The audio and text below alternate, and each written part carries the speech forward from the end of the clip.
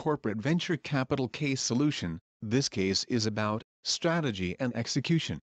This technical note provides a history and context for corporate venture capital, CVC, investment, or the practice of corporations making equity investments in startup companies outside their core business.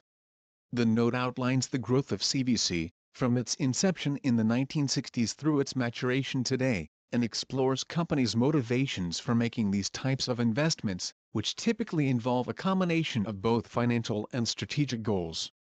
In addition, the note explores how CVC units within companies are structured, how they evaluate and finance investment opportunities, and how they generate business value for the parent company.